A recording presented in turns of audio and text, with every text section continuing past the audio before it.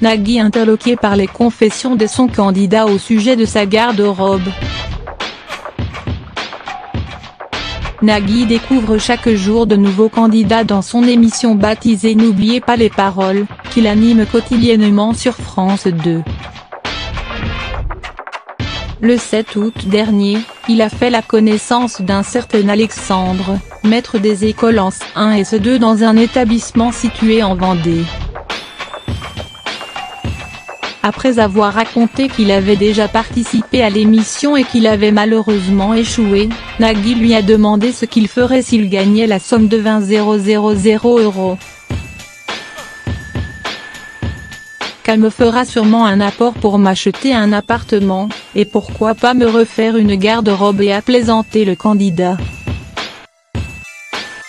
Taquin, l'animateur de France 2, l'interroge alors, quel type de robe?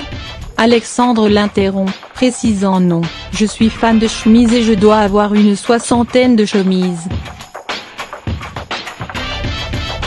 Pas toute blanche non, à motif, avec des pigeons.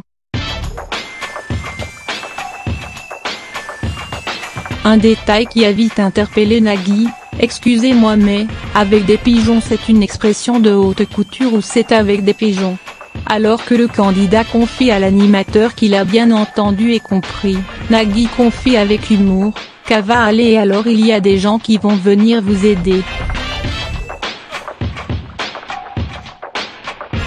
On connaît des ne vous inquiétez pas.